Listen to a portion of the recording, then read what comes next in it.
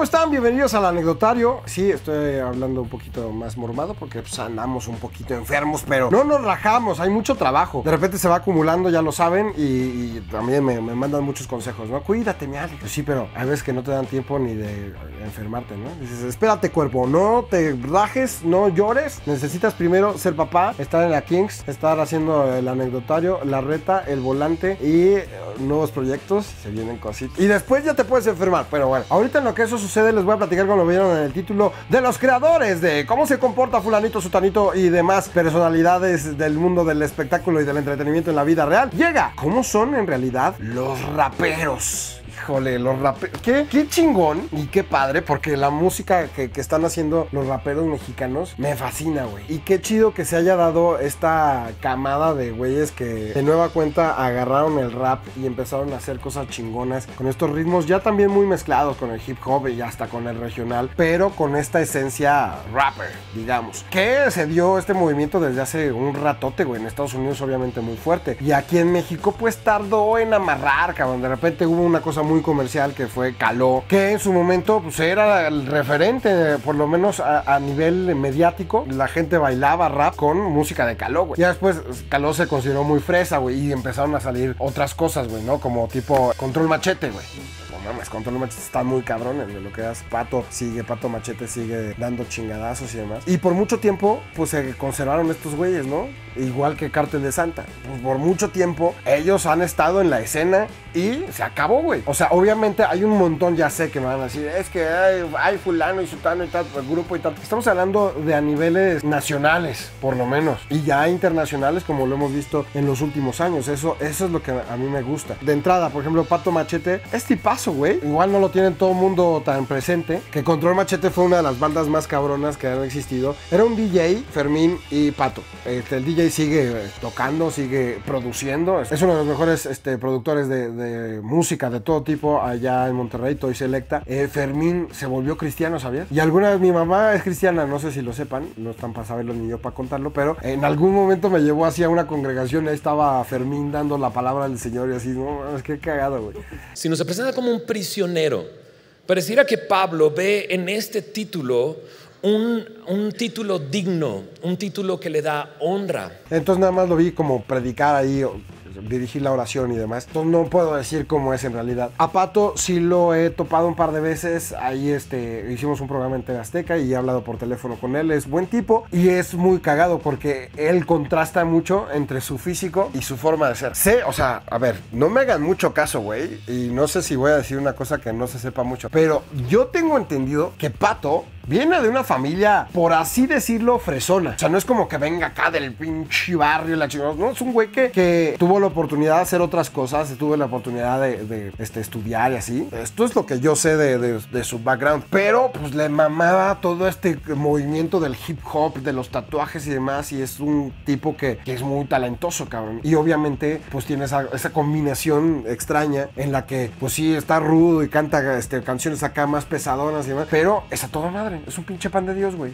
Es súper educado, cabrón. ¿no? Es muy bien, güey. Obviamente de los últimos que han despuntado con todo, pues obviamente Santa Fe Clan, cabrón, ¿no? Ángel Quesada, cabrón, es una pinche pistola, güey. Es un chamaco, güey, que, que es bien chido, güey. A mí me cae muy bien. Porque además, no lo tiene, no lo tiene que decir tanto, pero lo, lo, lo vemos. Cómo lo demuestra en cada cosa que hace en su vida. Es un güey que, pues, güey, no, no se olvida nunca de su barrio. O sea, cada año hace unas fiestas de cumpleaños y una como fiesta, de, pues llamémosle de pueblo, porque lo hace allí en su barrio, en la cuadra, cabrón, ¿no? La sierra y pone ahí a cantar los güeyes súper pesados, así de, de, súper famosos, cabrón. Y obviamente él corre con todos los gastos y está de poca madre. Y es un güey que, pues, está muy chamaco, güey. Entonces, este, todavía tiene esa, ese, irónicamente, ese toque como de inocencia que yo lo traduzco en esa capacidad de asombrarse. O sea, sí lo veo cuando se le está pasando bien, sí lo veo cuando está cagado de risa, sí lo veo, o sea, como que no tiene tantas barreras barreras como para estar como en pose. No, güey, es como es, güey. Ya, ya hemos jugado foot, ya hemos grabado este Escorpión al volante. No sé si ya lo platiqué en otro anecdotario. Te dije cómo lo conocí. En una fiesta privada, güey. Un chavillo cumplió años. Y entonces dijo, no, pues quiero un rapero, güey. Quiero que venga a conducir uno famoso. Y, y entonces ya me, me llevaron de conductor. eh, y, y- y, este, apenas estaba eh, iniciando Santa Fe. Ahí hicimos hasta video que eh, llevaron hasta unas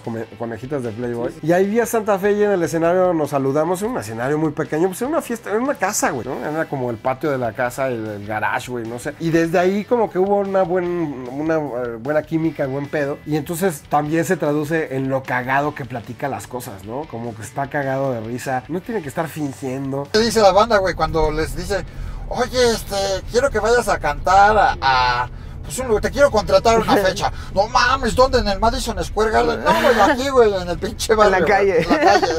¿Qué te dicen? No se No, pues no les, no les digo dónde va a ser. y hace lo que quiere. Es de huevos y además la música que hace está trascendiendo a nivel internacional. O sea, fue parte del soundtrack de, de, por lo menos del disco, de Black Panther, de, de la nueva película. Y bueno, está muy cabrón. Otro que tiene un poquito más de años dándole, me metió un pedo, güey, mi compadre alemán, güey. Con alemán he convivido varias veces. es- no, no es como que nos eh, veamos diario y así, pero pues no sé, güey, hicimos Escorpión al volante y de repente lo invité a una reta. Hicimos una reta así con este, toda su banda, güey, contra la mía. Hizo un desmadre, ya lo he platicado, creo, en algún momento. El único día que quiero que lleguen todos marihuanos y lleguen todos enteros, güey, nos metieron una putiza. esa suya, suya, suya. ¡Gol!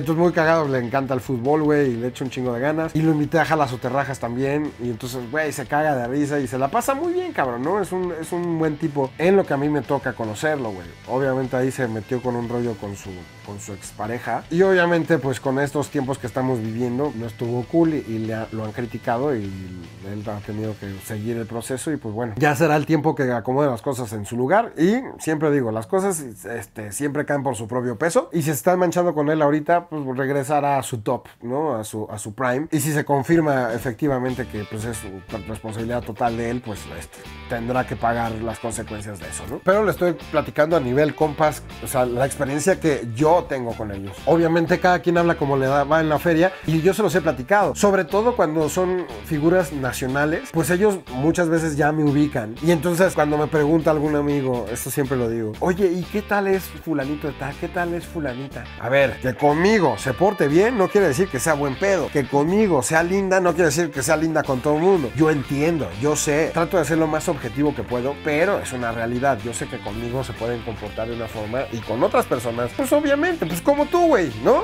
O sea, tú te portas este, de una forma con tu novia, con tus amigos, este, contigo mismo cuando estás solo, con el trabajo, no sé, güey. Otro que también le mandé mensaje así de huevos fue a MC Davo. MC también, güey, pues han tenido cada quien una historia distinta, ¿no? Y yo lo he dicho muchas veces, para llegar a, empezar a trascender, hay muchas formas de entrar, ¿no?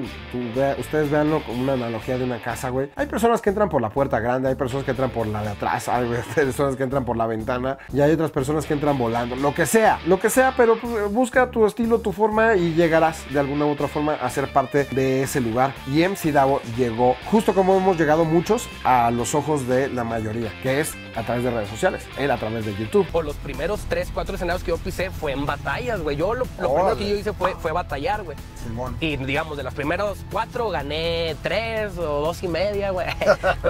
Y bueno, fue criticado en su momento que porque era muy fresilla y que bueno, pues era un youtuber, güey. O sea, otro pueblo, misma historia, ¿no? Le quitaban como validez que porque había pegado, pero no era como que había salido del gueto y desde abajo, no, güey. O sea, es otra forma y no le quita y le pone validez una u otra forma de hacer las cosas. El punto es que este cuate, pues eh, le empezó a talachear, usó la herramienta y le pegó. Y actualmente no solamente hace proyectos con él, sino con un chingo de colaboraciones que arma con muchos otros raperos donde le reconocen el talento. ¿no? En el caso de Darius, hizo un chingo de giras con DHA, con Darius, que también tiene otra historia, ¿no? O sea, fue parte de este colectivo del Cártel de Santa, güey, uno de los grupos más cabrones de rap, de hip hop que ex- existe en la historia de nuestro país, güey, así de sencillo. Después de eso, pues lanzarse de solista Darius, güey, no era fácil, cabrón. No mames, porque tienes la sombra de todo lo que hizo Babo y Cártel de Santa. Y además, pues, lo platicó en la entrevista, ¿eh? es bien sabido, pero lo platicó en el escorpión al volante. Él no salió como por la puerta este, de enfrente, güey, sino salió como mal, salió como algunas rencillas. Y entonces tuvo que luchar contra todo, güey, para eh, hacerse un, un espacio y que lo reconociera. Yo nunca me he tapado ningún tatuaje, ¿no? Vamos, traigo todavía los del cártel, el de Babilonia y todo eso. Pero ahora dilo sin llorar. Digo, la gente obviamente ya lo ubicaba, ya sabía qué pedo. Una cosa es la escena, también esa es una chingonería, que actualmente existe la posibilidad de que todo el mundo tenga su nicho y su público. Entonces ya no necesitas a huevo ser parte de una empresa para poder trascender. Ya la gente sabía quién era Darius. Y obviamente su voz la tienen súper ubicada porque salen un chingo de canciones de Cartel de Santa. Entonces empezó a hacer su propia música y de huevos. El pinche Darius sí es más desmadroso, güey. Pero está muy cagado porque es muy risueño, güey. Se caga de risa y, pues, güey, esto ayuda mucho la mota para todos estos compadres porque todos son bien marihuanos. Fíjense, yo no- cuando luego me preguntan, a mí me pega para... Cuando lo he hecho así alguna vez, güey, me o sea, te lo juro que hasta quisiera que me gustara para convivir y estar en su pedo, güey. Pero, güey, no mames, soy chafísima, güey. Y no me reprimo de hacerlo por espantado o presionado, sino porque, güey, soy bien malo, güey. Prefiero mis energéticos. Entonces, con Darius, cada vez que hemos echado desmadre, está muy cagado, muy buen pedo. Eh, también fue mi cumpleaños, uno, uno de mis cumpleaños, y se intercambió la camiseta, la camisa con Facundo. Facundo es muy fan de los raperos, güey. Entonces, ah, vamos a, no sé por qué de la nada se intercambiaron la camisa, Y obviamente Facundo quedó así todo tumbado y Darius así todo encogido. Muy cagado, güey. Y sí, te sorprende, güey, lo, bonachón que es, güey. Como, como siempre cagado de risa, ¿me explico? O sea, tiene muy buen sentido del humor. Claudio Yarto, lo metí. a ver, siempre estoy diciendo, es muy cagado esto, porque siempre, o sea, eh, comenzó y, continúa como un rolling gag del escorpión que decía que sus raperos favoritos eran Limp Bizkit y eh, Claudio Yarto. Realmente lo hacía como con esa eh, intención de hacer un contraste así cañón. Pero finalmente, a ver, obviamente el escorpión lo decía de broma, o lo digo de broma, como jugando. De broma y no. No es como que mis canciones favoritas sean de calor, pero me sé un chingo. Es parte de la cultura de, de nuestro país y de la música. ¿Qué pasó, padrino? ¿Cómo estás? Y él me lo topé en un avión cuando no hacía tantas interacciones eh, con famosos. Entonces todavía yo no alcanzaba a dimensionar si mi humor de escorpión estaba haciendo reír a los famosos. Sabía que a la gente, porque obviamente este, me ponían los comentarios y les gustó y obviamente este, las visitas llegaron. Pero yo no sé si le estaban entendiendo toda esta banda que eh, mencionaba o troleaba, si estaban entendiendo que era comedia, que era humor, que era eh, sarcasmos y, y demás, o si se estaban emputando conmigo. Entonces de repente veo a Claudio Yalto en un avión y dije, uy, cabrón, lo voy a ver ahorita a ver si no me dice algo, güey. Obviamente ya había hecho las referencias y obviamente, pues eh, son, son referencias que yo sé que la gente conoce, pero pues que empezó a sonar tanto el escorpión a medida que fue creciendo, que se empezaron a compartir los videos las personas que mencionaba. Y entonces seguramente en algún momento dijeron, oye Claudio, ¿viste que este youtuber está hablando de ti, güey? No sé con qué intención, a lo mejor como muy cagado, así, no mames, qué chingón. O a lo mejor, eh, güey, no mames, se está burlando, no sé, no sabía. El punto es que ya iba en el avión y y como que me tocó más atrás y él estaba más adelante. Dije, puta, ahorita que me baje, lo bueno es que se va a bajar. Pues se quedó, güey. Y yo entonces dije, puta madre, a ver qué me dice, güey. Y llego, ¿qué pasó, Padre Santo? ¿Cómo-?" Y me saluda, güey. Y dije, no mames, pinche Claudio, ¿cómo estás, güey? Bien, ya me dijeron que estás diciendo cosas de mí. y entonces ya desde ahí dije, no mames, este güey ya. Y tan conecté con él que fue uno de los in- primeros invitados del Escorpión al Volante, ¿sabías eso? La memoria me falla, cabrón, porque la misma semana grabé tres. La primera semana que grabé Escorpión al Volante, que, que ya le iba a meter invitados, porque ya grababa Escorpión al Volante, pero solo. Le iba a meter invitados, grabé tres en esa misma semana, y entonces ya no me acuerdo cuál fue el primero. Pero uno de esos tres fue Claudio. Y entonces armamos el escorpión al volante ahí con él, güey. Y cantando, echándole un chingo de ganas. Y de ahí, güey, pues eh, ha ido a mis cumpleaños, hemos hecho fiestas juntos, eh, ha ido a la reta, hemos hecho cosas altruistas. El güey siempre está dispuesto. El güey siempre es buen pedo y siempre es como, como que le está girando la piedra y te propone cosas. Y, o sea, es, muy activo, güey. Entonces tuvo poca madre eso que se armó con Claudio. Es muy, muy chido el cabrón. Muy buen pedo. Hasta una rolita hicimos. O sea, el, el- tipo es, es, es bien neto, güey, ¿no? Vuelvo a lo mismo. No quiero generalizar porque no me consta, pero es, es del tipo de personas que le puedes eh, proponer cosas y siempre dice sí y le entra y lo hace con pasión y lo hace echándole muchas ganas. Él y todos los demás de Caló, ¿eh? Babo, güey, a ver, Babo es, es- no mames, es, es el, el papá de los pollitos en este sentido, cabrón, ¿no? El que, el que más tiempo tiene en este pedo y que ha pasado de todo. Eh, que todo el mundo ubica, obviamente, eh, respeta a nivel musical y, y la vida que ha tenido, pues, güey, estuvo cabrona, ¿no? Ya lo ha platicado en un chingo de entrevistas, cómo estuvo un rato en, en la cárcel por un pinche accidente, güey. Le dio un tiro a un compa suyo, güey, por estarse peleando con otro cabrón. Como que disparó, sacó un arma, güey, disparó y rebotó la bala y le dio a su compa. ¿Y lo mató? Sí, güey. Entonces se fue a la cárcel. Está cabrón, güey. Pues, güey, a ver, ellos son de, un, barrio y de una época en la que así se libraba. Bueno, es que no lo quiero decir tan en pasado, güey, porque lo mismo sigue sucediendo, cabrón, ¿no? Hace poquito no lo conocí, a Lefty. No mames, güey, cómo, cómo se llenó de en las redes sociales de, condolencias hacia, hacia la pérdida de la vida de Lefty. Sigue hablando de que, pues, güey, la, calle es la calle, güey, y siguen sucediendo cosas, güey, ¿no? Entonces, esa es la vida de, de Babo combinando eh, su mismo origen y, y todo lo que le ha rodeado desde hace muchos años, pero también, pues, desarrollando esta cultura y este emprendimiento de ser eso, un empresario, cabrón, ¿no? Un güey que, pues, es músico, que rapea, pero que le sabe al business, güey, ¿no? Que usa las redes sociales a su favor y que usa las plataformas, obviamente, para que su música se distribuya por todas partes, pues, porque, obviamente, y lo he dicho muchas veces, ¿no? Cuando llegan algunos, este, algunas radiodifusoras. Oye, ¿me regalas una entrevista? ¿Cuándo has tocado una pinche canción mía en tu radio? güey? Pues nunca, entonces no, güey. Pues así es, güey, ¿no? Y lo entrevisté para ¿Y lo cu- cuando sacó su, su canción. No, lo conocí desde antes. Primero ahí que sacó su canción e hicimos una interacción ahí con el escorpión y que también estaba millonario, también me cayó chido. Ya lo he, he platicado varias veces, ¿no? Pues obviamente el escorpión ahí iba comenzando y ya pues como que se hizo ese, ese desmadre y esa interacción y me han dicho, ay, no, pues este, se puso nervioso el escorpión, no sé qué. Pues es parte de lo que, que hace, güey, ¿no? Obviamente. El escorpión pues de repente como que se pasa tantito y el otro también. Pues se trata de los dos, güey, ¿no? O sea, de dar y de recibir, ¿no? Es, es recíproco el desmadre que se hace, pero al final el güey me dijo, hey, métete allá, güey, ahí este, en la cocina. Hay unos compas si quieres fumar, no sé qué. Ya salgo y así. Tienen sus vasijas acá de la, de la chida. Y ya dije, no, pues... si quieren para llevar.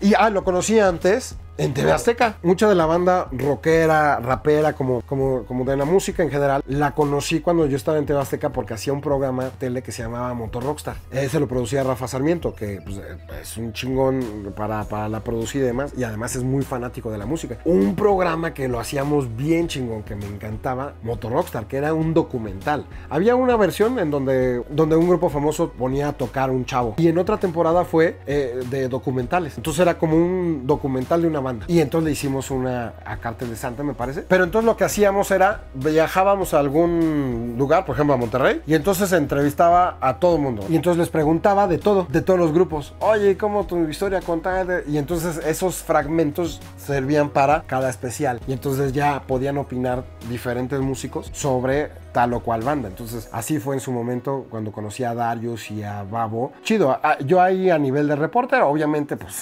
ni se acuerdan de mí, cabrón, ¿no? Pero desde ese momento los vi. Eso sí, son un grupo más cerrado, güey, ¿no? Para que tú entres en su círculo, sí se necesita que te tengan mucha confianza, pues porque y los, los amigos que yo he visto que se llevan más con ellos, sí me han platicado eso, güey. Que es como aquí, para que te aceptemos, güey, está cabrón y calladito con lo que veas, güey, porque estamos enseñando, pues, qué pedo, güey, ¿no? Y entonces, pues sí, que tiene mucho, mucho cuidado con esa privacidad. Entonces, sí guardan su distancia. Entonces, pues así como que tú llegues con ellos y, te vayas a ser su amigo en dos segundos, como otros tienen esa apertura, pues no. En este caso es como más cerrados, más compacto su grupo, ¿no? Más cuidados. Big Metra cuenta. Otro, otro que es como muy comercial. Ha estado también en muchos medios de comunicación masivos y ha hecho muchas colaboraciones con muchos artistas que no son como pues del gueto, güey, no, no son del barrio. Entonces, pues sí, es un cuate que, que sí podríamos considerarlo como, como rapero, güey, porque ese es tu- su,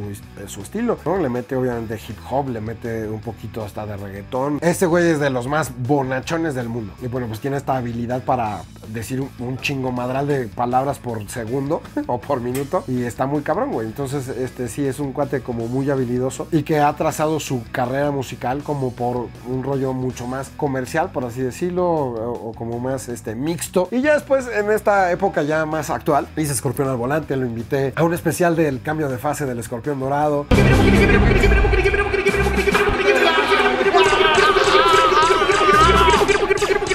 Lo invité a mi programa de televisión en Estados Unidos, en Los Ángeles, y me cae muy bien el Big Metra. Asesino, Lobo Estepario, o sea, se juntó con, con esta, obviamente, el rap no puede ser, no puede ser tan puro hoy en día. Hay un montón de combinaciones y un montón de, estilos que se, han, que se han dado para que resurja este género en, México o que se afiance, no sé cómo lo quieran llamar. Pero una parte fundamental de todo este revival es eh, los improvisadores, la- las batallas de improvisación, los freestylers que estuvieron en los parques durante mucho tiempo en las penumbras y que hoy en día se hacen unas batallas súper profesionales y hay un chingo de banda bien, bien cabrona que se rifa cabrón, o sea, lo hacen muy bien, que tienen muchísimo talento. El caso de los, los que yo me llevo, que son Asesino y Lobo Estepal. Los dos porque yo los busqué, güey, ¿no? Este, pues es que eso es, eso es lo padre de este, de este pedo. Hay veces que tú conoces a gente que tienes en común por los lugares donde te mueves. Yo lo he dicho muchas veces, tengo, pues, tengo eh, casi 13 años de ser papá. Entonces, pues estoy metido en ese pedo de ser papá. Entonces no estoy tan metido en el desmadre nocturno y así. Entonces, mi forma de interactuar es descubrirlos, verlos, admirarlos de alguna manera, decir, güey, qué buenas cosas hace, qué buen talento tiene, y entonces les escribo y pum, se hace. Y entonces a los, güey, no es como que vaya yo a las batallas de rap en la noche, güey. Los vi y dije, no mames, estos güeyes están de huevos. Asesino, ¿qué pedo, güey? Sí. Y resulta que era fan, güey, ¿no? Lo había, había visto al escorpión desde hace un rato y dijo que sí, cabrón, ¿no? Y ahí lo descubrí y siempre tiene, siempre es pinche mal encarado el pinche asesino, siempre estoy así como haciendo puchero. Entonces, su vibra no, no te invita tanto así de, ¿cómo estás, hermanito? Vamos a darte un abrazo, no es como un osito cariñosito, no al contrario, es como Lotso, el cabrón. Lo digo con ese sentido, justamente porque ya entrando en su círculo es bien buen pedo, güey. Eh, tiene muy buen sentido del humor, es súper alivianado, se caga de risa, no sé qué. o sea, a toda madre el cabrón. Entonces me cayó muy bien, güey, y sí me contrastó. Desde que lo vi como, pues te digo, como una vibra acá, como poniendo su distancia, pues no, güey, es parte de su personalidad, llamemos de su estilo, de su personaje, si, si así lo quieres ver. Y eh, está Lobo Estepario, que es otro cabrón, güey, que está rapeando, güey, parece que te va a matar, cabrón. El güey, si le despintaras esos tatuajes de henna que tiene, porque son falsos, sería un pinche chamaquito de la Ibero. no mames, a ver, Lobo Estepario también tiene su historia, su historia acá, lo he platicado, medio desgarradora y así, o sea, parte, o sea, está muy conectado en sus sentimientos y tiene música también original que es súper densa, güey, ¿no? Pero se caga de risa de todo. A diferencia de Asesino, Asesino es más serio, pero entiende el humor y se caga de risa cuando, pues, cotorreas con él. Este güey, eh, Lobo Estepario, está echando desmadre todo el tiempo. Él, él propone las, las risas, ¿me explico? Y, y- sí, sí, y es como, este, también súper buen pedo y tiene esa dosis de que le gusta disfrutar, güey. Sí, sí, ah, güey, ahora que, o sea, se, se le ve cuando se la pasa bien, se le ve cuando le da gusto a algo. Entonces, ese tipo de personalidades a mí me gustan más, güey. Me, me, eh, conecto mejor con ellas porque son más fáciles de leer y entonces ya conectas más chido, güey, ¿no? Entonces no tienes que estar descifrando ni madres. Son como son, güey, está de huevos. Entonces, Lobo Estepario también, de mis, de mis compas favoritos en este género musical. Ah, 69. Otro, güey. ¿Qué pedo con los raperos y sus polémicas? ya hice un anecdotario eh, de, de cuando fui con 69 y de cómo era, pero bueno, pues, si lo quieren ir a ver, está muy entretenido porque platicamos como eh, todo lo que vivimos en Tepito y así, cuando vino aquí a México. Y sí, este, después de eso, pues, ya se enamoró y después se desenamoró, ¿no? Este, pero me habían dicho, ¿no? Que 69 era muy radical. Le cagabas en el momento, o sea, no necesita reconocerte hace 10 años. Si le cagaste en dos minutos, a la verga. Medio gentefóbico, ¿no? No le gusta estar con gente que no le, que no le caiga bien. Y si les cae, le vibras chido, pues ya, güey, te- se vuelve tu compa y te invita a echar desmadre durante cinco días seguidos. Entonces, pues esa es mi experiencia con 69, ¿no? Como que eh, lo, lo platiqué en el anecdotario. O sea, una de las cosas que más me llamó la atención es que no me preguntó nada, güey. No, o sea, ni siquiera como por duda y demás. Y eso yo lo traduje a confianza total, güey. Dale, güey, pregúntame lo que quieras. No tuve yo que construir como un puente como de confianza. Si no, este güey me lo echó, güey, tran, ¿no? Me puso la alfombra. Dale, güey, ¿qué me quieres preguntar? Sí, sí, ay, se hace que risa, este, con esta combinación cultural mexicoamericana que tiene. Entonces, pues bueno, se dio, se dio chido, ¿no? Pues esos son, muchachos, esos son los que más he interactuado, de los que me acuerdo ahorita. Espero que les haya gustado este anecdotario, conjunto de micro anecdotarios, esta biblia de anecdotarios. Ya que andan por ahí, suscríbanse, pónganle like, es gratis y nos ayuda un montón. Estamos a punto de llegar a los 3 millones de suscriptores aquí en La Lata. Qué chingón. Siempre se, se- se celebra cuando se cumple otro millón, entonces este, vamos a estar muy contentos. Este año no, estaba como haciendo cuentas, no haciendo cuentas, sino entrando en razón que son 15 años del escorpión dorado. Creo que podríamos hacer algo chingón. Entonces, ayúdenos a llegar a los, a los 10 millones de suscriptores en Peluche del Estuche, a llegar a los 3 millones aquí. Y si quieren otro anecdotario, se vale sugerir abajito en la caja de los comentarios. Y hay un montón de anecdotarios aquí en la lista de reproducción de la Lata para que se entretengan, ¿vale? Mientras tanto, vámonos que aquí espantan. Pásenla chido, suscríbanse. Síganme en las redes. Nos vemos en el cine. Bye.